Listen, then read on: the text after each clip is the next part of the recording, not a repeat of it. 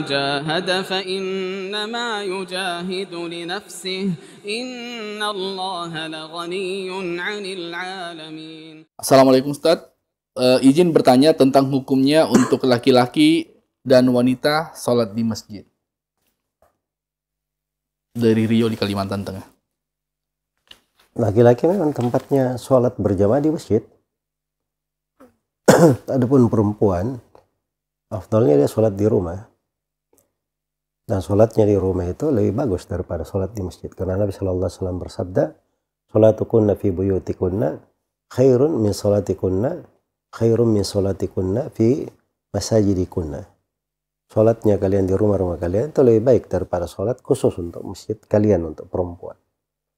Ya, tapi kalau laki-laki dia ada kewajiban untuk menghadir sholat berjamaah di atas pendapat di atas pendapat yang paling kuat di dalam hal tersebut.